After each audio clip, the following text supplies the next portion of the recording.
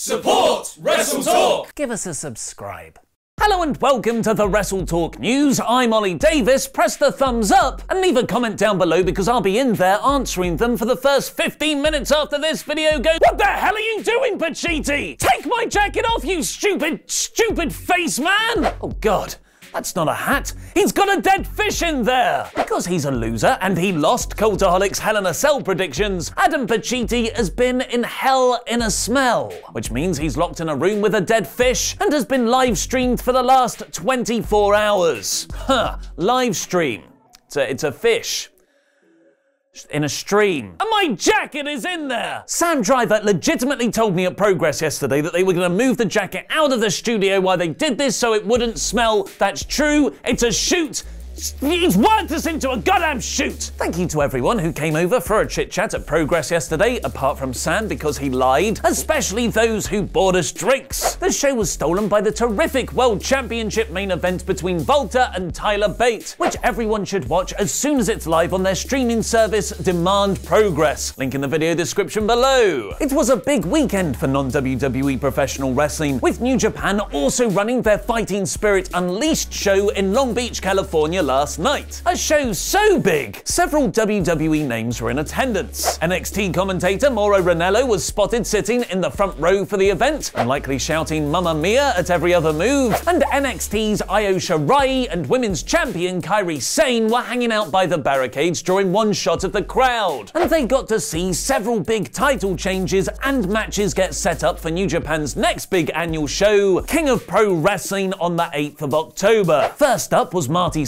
Beating Will Ospreay in arguably the match of the night, which means the villain will face Kushida to determine the new IWGP Junior Heavyweight Champion. Vacant is the current champion, as Hiromu Takahashi is out for a year with a broken neck. The Gorillas of Destiny, Tama Tonga and Tanga Loa defeated the Young Bucks for the IWGP Tag Team titles, and NWA champion Cody Rhodes beat Juice Robinson to become the new IWGP United States champion. Cody's first gold in New Japan, which set up the angle after the main event. Following the Golden Lovers, Kenny Omega and Kota Ibushi beating Chaos's Kazuchika Okada and Tomohiro Ishii in the last match of the evening, Omega challenged Ibushi to a singles match for the heavyweight title at King of Pro Wrestling, as Ibushi had beaten him in the G1 tournament. But just as that long-awaited dream match was about to be confirmed, Cody challenged them both to a three-way instead, which they accepted, smartly keeping that big Ibushi versus Omega singles bout for the title for a bigger stage. And just to show how remarkable this three-way is for New Japan, the IWGP Heavyweight Championship has only been defended in a non-singles match once before, and that was AJ Styles retaining against Okada and Michael Elgin at ROH's War of the World show in 2014. And completing the trinity of big non-WWE shows over the weekend, Friday night saw Ring of Honor's Death Before Dishonor 16. Well, while no championships changed hands at the pay-per-view, the TV tapings the very next night revealed one of their top stars is off to WWE. We're entering the spoiler room brawl in three,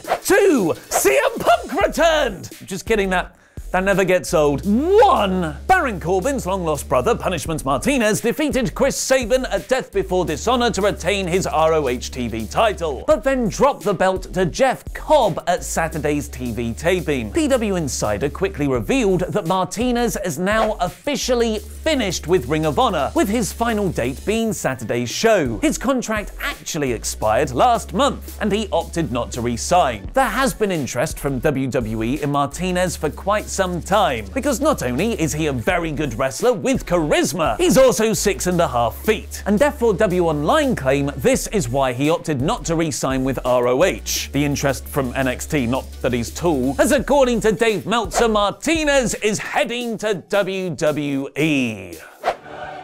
What is going to happen at Super Showdown this Saturday? Find out in El Fakador Laurie Blake's predictions for the show by clicking the link on screen now. I've been Ollie Davis, and that was wrestling.